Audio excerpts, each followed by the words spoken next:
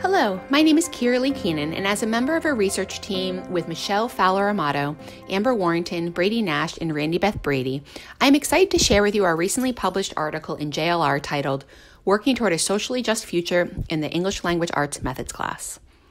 We are all former high school English teachers and are now researchers and teacher educators invested in preparing secondary ELA pre service teachers to recognize and fight inequities that were present in the high school classes and communities in which we taught, just as they are today. We situate our work within a promise made by organizations such as the National Council of Teachers of English and English Language Arts teacher educators that argues for a reframing of English teaching and English teacher education as political activities that mediate relationships of power and privilege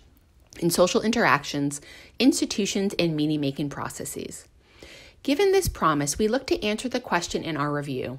How are teacher educators preparing secondary ELA pre service teachers to enact social justice teaching in the ELA classroom?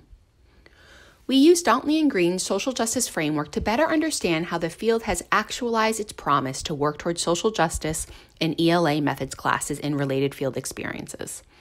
This four part framework first incites educators to enact indignation, and anger for social justice, then argues the need to not only embody a historical imagination by recalling past successes, but to also embrace a prophetic imagination, and finally suggests that preparing teachers for social justice work in schools means holding ourselves accountable to graduates of our programs and the local communities in which we work.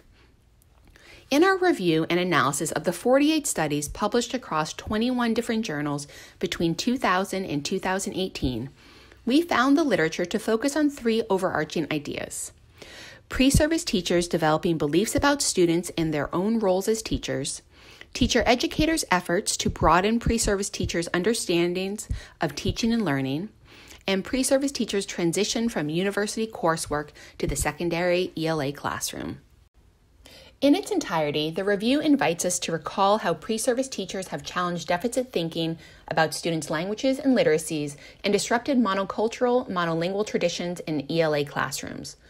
It also offers curricular approaches that have the potential to prepare pre service teachers to enact socially just teaching in the ELA classroom.